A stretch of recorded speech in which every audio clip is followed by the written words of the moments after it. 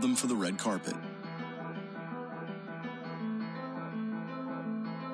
We didn't build them to lend a helping hand. We didn't build them to inspire a fashion designer, an artist, or a musician on the other side of the world.